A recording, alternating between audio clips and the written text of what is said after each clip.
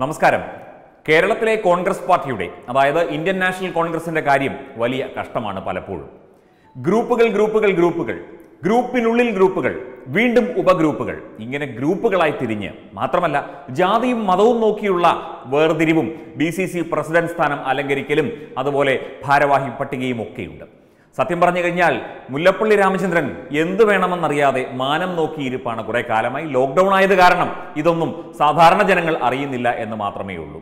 നമുക്ക് കോൺഗ്രസിന്റെ കാസർകോട്ടെ ചില പ്രവർത്തനങ്ങളും ചില ഗ്രൂപ്പിസവും ഒക്കെ ചുമ്മാ ഒന്ന് വിലയിരുത്താം. ചുമ്മാ രസമാണ് ഇതൊക്കെ വിലയിരുത്തുന്നത്. കാരണം അവർക്ക് തന്നെ അറിയാം അവരെല്ലാം ഏതൊക്കെ ഗ്രൂപ്പിലാണ് എങ്ങനെയൊക്കെ ഗ്രൂപ്പ് തമ്മിൽ തല്ലുണ്ടാകുന്നു എങ്ങനെയൊക്കെ ജാതിയും മതവും പറഞ്ഞ് ഗ്രൂപ്പ് കളിക്കുന്നു എന്നൊക്കെ കോൺഗ്രസിന് തന്നെ അറിയാം. പിന്നെ എങ്ങനെയാണ് ഇവർ ഈ ഒന്നരാടൻ ടേം അധികാരത്തിൽ വരുന്നത് എന്ന കാര്യമാണ് നാട്ടുകാർക്ക് സംശയം. അതായത് ഇപ്പോൾ ഇടതുപക്ഷം ഭരിച്ച് മുടിച്ച് തേച്ച് കഴുകി കഴിയുമ്പോൾ അടുത്തയാൾ വന്നാൽ ഒന്ന് രക്ഷപ്പെടുത്തും എന്നുള്ള പ്രതീക്ഷയിൽ ജനം വോട്ട് ചെയ്യും. അവർ അധികാരത്തിൽ വരും. വീണ്ടും അവരുടെ ഊടമായി അങ്ങനെ കാലാകാലങ്ങളായി ഈ രണ്ട് സർക്കാരുകളും ജനങ്ങളെ ഇങ്ങനെ പറ്റിച്ചുകൊണ്ടിരിക്കുകയാണ്. നമുക്ക് കാസർഗോട്ടേക്ക് പോകണ്ടേ? കാസർഗോഡ് ജില്ലയിൽ കോൺഗ്രസിൽ ഗ്രൂപ്പിസം അതിശക്തമാകുന്നതായിട്ടാണ് മുന്നറിയിപ്പുകൾ പുറത്തു വരുന്നത് ആരാണ്?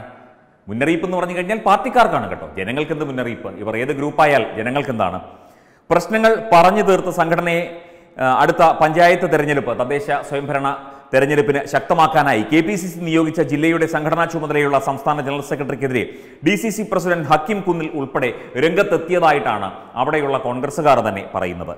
കൊല്ലം ജില്ലക്കാരനായ ജി രതികുമാറിനാണ് ജില്ലയുടെ സംഘടനാ ചുമതല. കാസർഗോഡ് എം പി രാജ്മോഹൻ ഉണ്ണിത്താൻ കൊല്ലം ജില്ലക്കാരനാണ്. രാജ്മോഹൻ ഉണ്ണിത്താൻ ആധിപത്യം ഉറ- ഉറപ്പിക്കുന്നതിന്റെ ഭാഗമായിട്ടാണ് നാട്ടുകാരനായ രതികുമാറിനെ കൊണ്ടുവന്നത് എന്നാണ് പറയുന്നത്. അല്ല ഇപ്പോൾ ജാതിയും മതവും ഗ്രൂപ്പും മാറ്റി ഇപ്പോൾ പ്രാദേശികവാദവും ഉന്നയിച്ചിരിക്കുകയാണ് കോൺഗ്രസ്സുകാർ. അതെന്താ? കാസർഗോഡ് ജില്ലയിലുള്ള ഒരു ഒരു വ്യക്തി ഒരു സംഘടനാ സംവിധാനത്തിലേക്ക് കൊല്ലം ജില്ലയിലുള്ള ഒരാൾ വന്നാൽ എന്ത് സംഭവിക്കും? അറിയില്ല അവർക്കേ അറിയൂ. അല്ലെങ്കിൽ കൊല്ലം ജില്ലക്കാരനായ ഒരു എം പി കാസർഗോഡ്. അവിടെ കോൺഗ്രസ്സുകാരടക്കം വോട്ട് ചെയ്തിട്ടല്ലേ രാജ്മോഹൻ ഉണ്ണി താൻ ജയിച്ചത്? അപ്പോൾ പിന്നെ കൊല്ല കൊല്ലത്ത് നിന്ന് ഒരാൾ അങ്ങോട്ട് വന്നു എന്ന് പറഞ്ഞ് ഗ്രൂപ്പിസം കളിക്കേണ്ട കാര്യമുണ്ടോ? അല്ല സ്വാഭാവികമായി ഒരു പൗരന് ഉണ്ടാകുന്ന സംശയം മാത്രം ചോദിച്ചു എന്നേ ഉള്ളൂ. നേരത്തെ കാസർഗോഡ് നടന്ന വിഭാഗീയ പ്രവർത്തനങ്ങൾ ഏറെക്കുറെ അവസാനിച്ചെന്ന് സംസ്ഥാന നേതൃത്വം ആശ്വസിച്ചിരിക്കുന്ന സാഹചര്യത്തിലാണ് ഇപ്പോൾ രതികുമാറിനെ ജില്ലയുടെ ചുമതലകളിൽ നിന്ന് മാറ്റണം എന്ന പുതിയ ആവശ്യവുമായി ഒരു വിഭാഗം പ്രവർത്തകർ കോൺഗ്രസ് പ്രവർത്തകർ രംഗത്ത് വന്നിരിക്കുന്നത്. ജില്ലയിലെ സംഘടനാ പ്രവർത്തനം ശക്തിപ്പെടുത്തുന്നതിന്റെ ഭാഗമായി ബ്ലോക്ക് തലം വരെ പുനഃസംഘടന നടത്താൻ ഡി യോഗത്തിൽ പ്രഖ്യാപിച്ചിരുന്നു. തീരുമാനം ഈ രാജ്മോഹൻ ഉണ്ണിത്താൻ അനുകൂലികൾ ഏകപക്ഷീയമായി പ്രഖ്യാപിച്ചതിനെതിരെ ജില്ലാ ജനറൽ സെക്രട്ടറിമാർ ഉൾപ്പെടെ രംഗത്തെത്തി. അതായത് അവിടെ എം പിയുടെ ഒരു ആധിപത്യം പാർട്ടിയിലും സ്ഥാപിച്ചെടുക്കാൻ ശ്രീ രാജ്മോഹൻ ഉണ്ണിത്താൻ എം പി ശ്രമിക്കുന്നു എന്നാണ് അവിടെയുള്ള പ്രവർത്തകരുടെ പരാതി. അല്ല എന്തായാലും ശരി അവിടെ ജയിച്ചാൽ പോരെ അല്ലെങ്കിൽ കുറേ വോട്ട് കിട്ടിയാൽ പോരെ എന്തിനാണ് ഈ വിഭാഗീയതയും ഈ തമ്മിൽ തല്ലുമൊക്കെ ഇങ്ങനെ കൊണ്ടെത്തിക്കുന്നത്? ഇത് കോൺഗ്രസിന്റെ അധപ്പതനത്തിന്റെ കാലമാണ് അപ്പോൾ അവർ ചെയ്യുന്നതെല്ലാം അതേപടി തന്നെയായിരിക്കും. അത് ദേശീയ തലത്തിലായാലും ശരി ഇവിടെ ഈ കേരളത്തിൽ ഇങ്ങനെയായാലും ശരി പ്രാദേശികവാദം ഉൾപ്പെടെ ഉന്നയിച്ച് ഒരു പാർട്ടിയെ ഇല്ലായ്മ ചെയ്യുന്നതിൽ കോൺഗ്രസിലെ തന്നെ നേതാക്കൾക്കുള്ള പങ്ക് നിസ്തുലമാണ് വളരെ വലുതാണ്.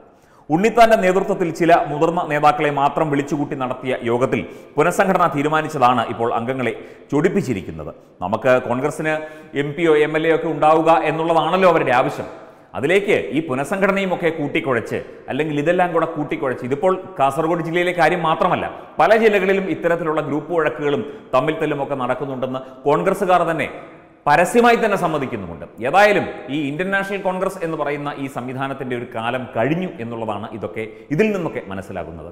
ദേശീയ തലത്തിൽ രാജീവ് ഗാന്ധിയെ പോലെ മുടി ചീകിയൊതുക്കി ഒരു സുന്ദരക്കുട്ടപ്പൻ വന്നിരിപ്പുണ്ട്. ശ്രദ്ധിച്ചില്ലേ? ഹെയർ സ്റ്റൈലൊക്കെ മാറി. മഖാവൂലും ആ, തായ്ലൻഡിലും ഒക്കെ പോകുന്ന ഹെയർ സ്റ്റൈൽ അല്ല ഇപ്പം. അച്ഛന്റെ ഹെയർ സ്റ്റൈലായി മുടി താ ഇങ്ങനെ പരത്തി ഒതുക്കിയാണ് വെച്ചിരിക്കുന്നത്. പെങ്ങളാണെങ്കിലോ മുത്തശ്ശിയെ പോലെ മുടി പകുതി നരപ്പിച്ച് ആ ചിരിയും ചിരിച്ച് അതേപടി ഇരിപ്പുണ്ട്. ഇതുകൊണ്ടൊന്നും ഒരു കാര്യവുമില്ല. കഴിഞ്ഞ ദിവസം ഫേസ്ബുക്കിൽ ഒരു പോസ്റ്റ് കണ്ടു. ബാർബർമാരാണ് ഇവിടെ ജനനേതാക്കളെ നിശ്ചയിക്കുന്നത്. അല്ലെങ്കിൽ ജനങ്ങളുടെ ഇടയിലേക്കുള്ള സ്ഥാനം നിശ്ചയിക്കുന്നതിൽ ബാർബർമാർക്കുള്ള മുടി വെട്ടുന്നവർക്കുള്ള പങ്ക് വളരെ വലുതാണ് എന്ന് പറഞ്ഞുകൊണ്ടൊക്കെ ഒരു പോസ്റ്റ് കണ്ടിരുന്നു. എന്തായാലും കേരളത്തിലെ കാര്യവും വ്യത്യസ്തമല്ല. ഗ്രൂപ്പും ഇതുപോലെ തന്നെ പലതരത്തിലുള്ള സംവിധാനങ്ങളും ഒക്കെ തന്നെ അവിടെ നടക്കുകയാണ്. രാജ്മോഹൻ ഉണ്ണിത്താൻ സ്ഥിരമായി നെറ്റിയിലണിയുന്ന ആ കൊട്ടാരക്കര ഗണപതിയുടെ ആ കറുത്ത കുറി ഇല്ലാതെയാണ് കാസർഗോഡ് പോയി തെരഞ്ഞെടുപ്പിന് പ്രചരണം നടത്തിയത്. ആ സമയത്ത് വാർത്തയായിരുന്നു കൃത്യമാണോ എന്നറിയില്ല. മാത്രമല്ല പച്ച ഷോളൊക്കെ പുതച്ചാണ്. അതായത് മതത്തെയും ഇതുപോലെ ഗ്രൂപ്പുകളെയും പ്രാദേശികവാദത്തെയും ഒക്കെ കൂട്ടുപിടിച്ച് എത്ര നാൾ കോൺഗ്രസിന് ഇനി മുന്നോട്ട് പോകാൻ കഴിയും? അധികനാൾ പോകാൻ കഴിയില്ല. അത് തന്നെ സത്യം. Web desk Tatwamayi news.